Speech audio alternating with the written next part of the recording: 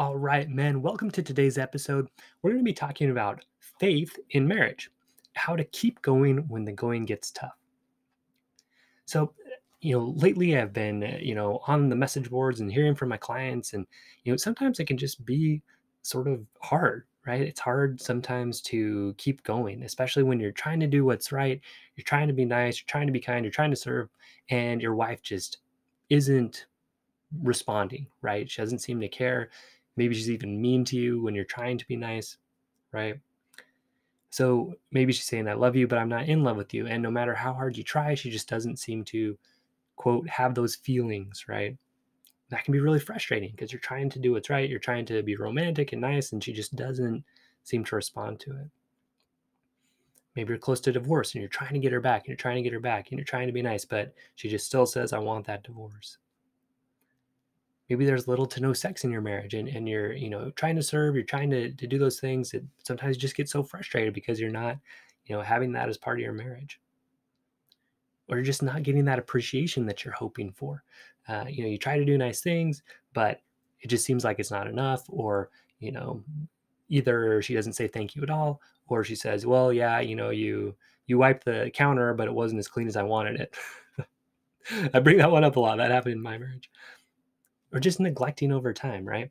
So, um, you know, just if you weren't there for something important for her, or if she asked you to come home and you just didn't come home, if she was struggling with the kids and needed help and you weren't there, right? Those those things are damaging. And you know, as you come back, you're like, hey, like I'm trying to change, I want to be there.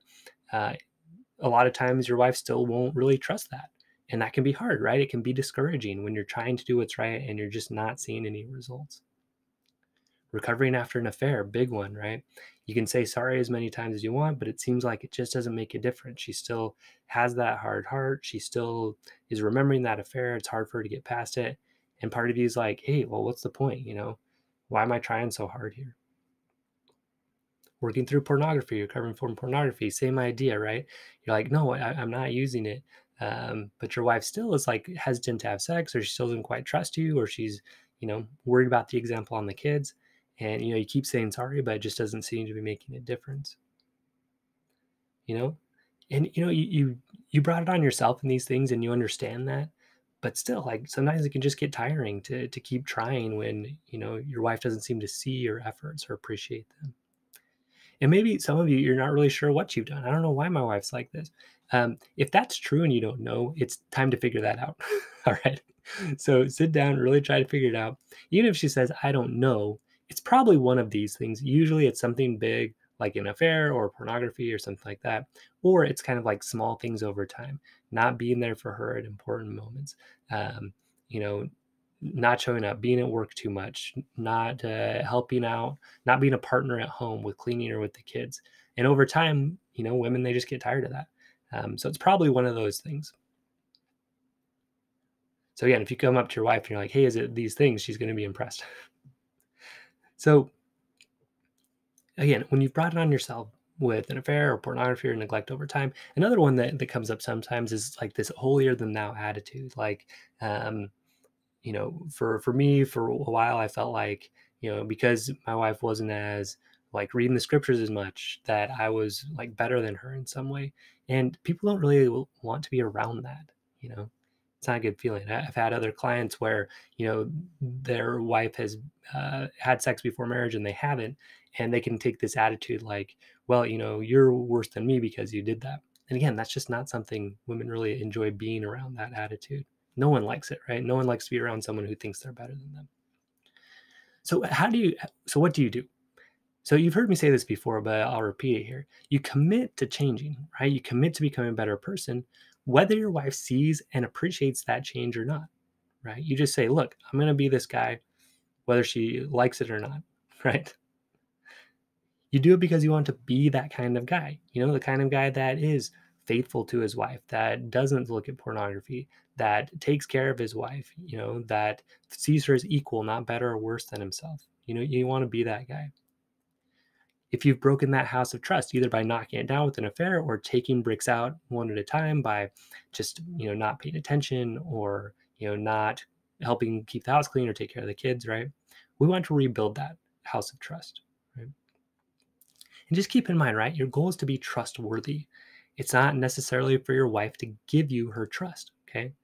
So trust is the fruit of trustworthiness. So we're working on becoming trustworthy, being men of our word. It feels great and it's attractive to her. Okay. And it's something 100% within our control. It's an internal win. It's not an external win. So when we focus on this, you know, it's it's powerful, right? We feel more empowered because it's within our control.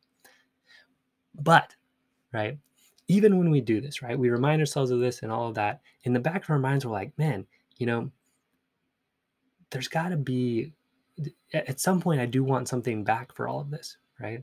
I'm doing these things, but you know, you can lose motivation sometimes, right?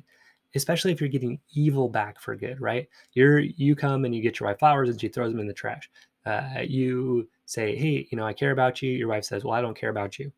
You say, I love you. Your wife says, well, I don't love you, right? That's hard. It's hard to keep going. It's hard to keep, you know, being that kind of guy when you're getting not just nothing back, but negative back, right? It's tough. Part of us says, you know, what's the point of this? So what I've learned over time is that, you know, making this commitment is important, but it also requires one more thing, and that is faith. Okay. So what is faith? In this case, faith it's believing that as you put good out into the world, as you serve, as you become trustworthy, as you um, are the kind of guy you want to be, right? As you put that good out, that good will come back to you. Okay, it's believing that, trusting that, having faith in that. That as you change, right, you become more trustworthy. You're choosing to serve your wife.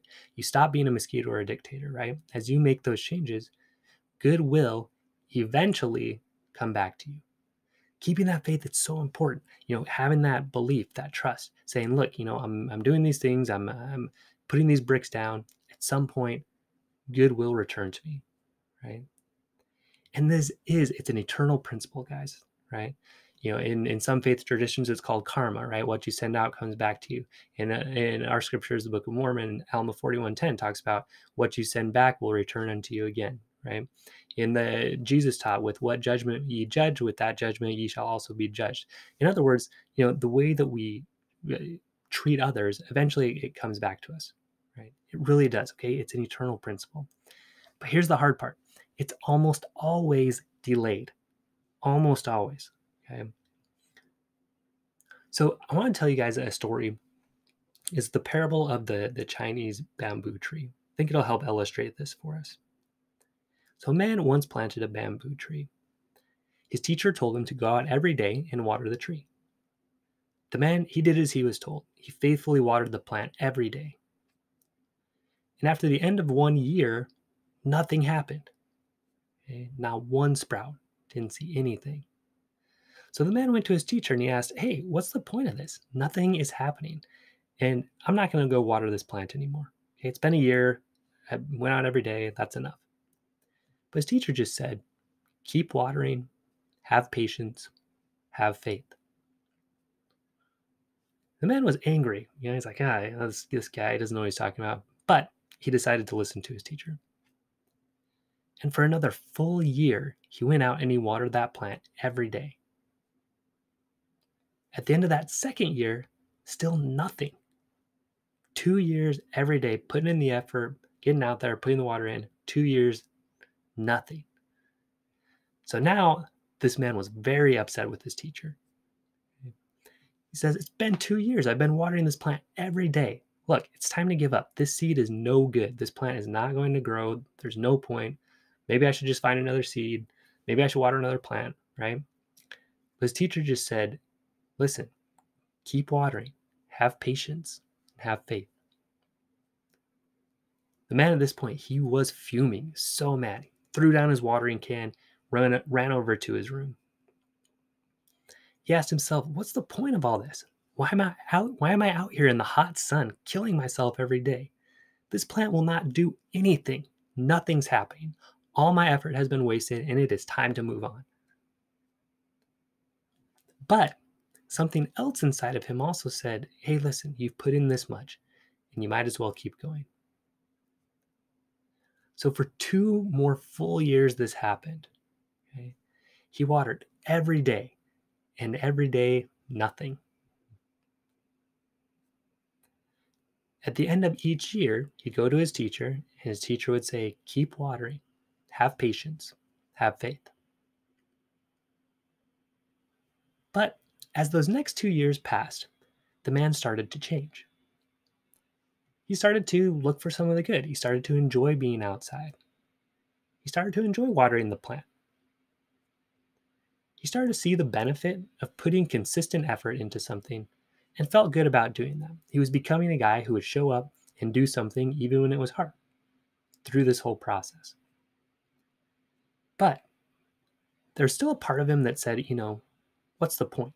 Right? That would come up sometimes. But he also started to believe that his teacher wouldn't have him keep watering if something wasn't going to happen. In other words, he started to replace that doubt and that anger with some faith, right? He said, Look, my teacher, he wouldn't lead me wrong on this, right? I trust this guy. So it's been four years now. As the man walked out with his watering can on the first day of the fifth year, after watering every day for four straight years, he saw a sprout. Hey, he was overjoyed. He was ecstatic. He ran to tell his teacher. His teacher said, That's wonderful. You know, congratulations. But just wait. Over the next seven days, the bamboo tree grew 90 feet tall. So, four years, nothing. Then in seven days, 90 feet. The man was amazed and overjoyed at these results. He asked his teacher, How is this possible? His teacher said the roots were growing the whole time. Every day of watering made those roots grow. Without that consistent effort, the roots would have died and you never would have seen this growth. It's that consistent effort, guys. So listen, in your marriage, every kind and good action that you are taking is planting and watering the seed. You are in a position where you might have to really grow up spiritually, you know, be able to bless them that curse you or do good to them that hate you. It is not easy, it's very hard. But this is what builds your strength. This is what builds your character. This is what builds that house of trust. This is what puts those roots in yourself where you start feeling like you're the type of man that can do this and you're becoming that kind of man. Okay. It is hard, it can be very difficult. Especially as you're doing this and your efforts seem to be making no difference in your wife at all, right? She seems even more mad or just no change at all. Okay. It is hard. But listen, guys, have faith. Have faith. You are becoming a stronger, better, and a more attractive person through this process. That is happening 100%. If you will commit to it and do it consistently, you're getting stronger, you're getting better, you're getting more attractive. 100%. One day, you'll start to see that and you'll start to know that for yourself. You'll start to feel good about who you are as a person. And that's a huge win in itself. The other thing that happens after that is that others are going to start to see that as well they're going to see that you are stronger, you are better, you are more attractive. You know, your your wife's going to look back and she's going to say, "Man, you know, through all that time when I was being so rude and I wasn't you know, appreciating your efforts at all, you still were consistent." Okay? One day she's going to be able to see that. Okay, God's going to see that. He's going to see, yeah, like you are growing. You're becoming the type of man that I want you to be. Your children are going to see that. They're like, man, you know, mom's kind of being rude to dad, but you know, he's still showing up. He's still being kind you know he's still serving her.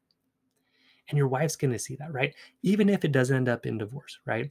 She's still going to see like hey you know this guy's a good guy. I, I, want him around my kids. You know he's he's doing he's doing good things here. Or you know you know if it does end in divorce here it'll attract another woman to you. You know if you you can listen back to uh to jeff's story on the podcast about that. Um you know he made these changes. It was kind of too late for his first marriage uh, another guy I've worked with, Scott, was kind of like that too. But because he developed these strengths and skills, he was a much more attractive man, and he drew someone else to him. And you know, he's still a great example to his kids, and they're able to work that out a lot better because of the the things that they have built. Right? They built those roots. They built that foundation, and eventually the tree grew. Right? So, guys, listen. Good, it will come. It will come. Another story about a guy I worked with, Aaron. You know, he had been unfaithful. Um, really went through the the process, the Superman system, and became that guy, right? Stepped into really who he could be, became stronger, became more attractive. And it took a long time. It took, you know, years of doing that. But then his wife saw it, right? She saw it. She saw he was attractive. She saw he was a different guy and came back and they have an amazing marriage now. Hey, Scott, I mentioned, you know, his, you know, he came to me when he was like one signature away from divorce, but he still went through the process. He still learned. He became a stronger guy emotionally, mentally, spiritually, sexually. And, you know, that divorce went through, but he was able to attract a, an amazing woman to him because he then knew these skills. Right. So, Thomas, um, another guy that, um, excuse me, you know, I was able to work with, and he was able to see, um, you know, really uh, quicker results. You know, he's able to learn these these skills and really kind of turn things around uh, around very quickly. Um, and then Josh, um, you know, is kind of in, in the middle of it right now, where you know he's he's actually in there. He's living with a wife who is, you know, actually his ex-wife still with him, and but he's still in this process, right? Um, becoming that greater man and feeling just great about it, and having faith, right, that good is going to come. So we're all at different stages of this, right? and for me right for a long time my my issue in my marriage was um, you know not having sex often and being upset about that but as i learned these strengths and skills that i'm teaching you guys you know i felt better about who i was eventually that made her more attractive to me and we could work it out right we could work out something that worked for both of us from a sexual standpoint so listen guys good will come I promise you you know have faith continue to do good continue to serve uh, even when you're getting bad back. You know, that's that's kind of the big test of, of spiritual strength. So, guys, listen, keep watering, have patience, have faith. Stay strong, men. I'll see you next episode.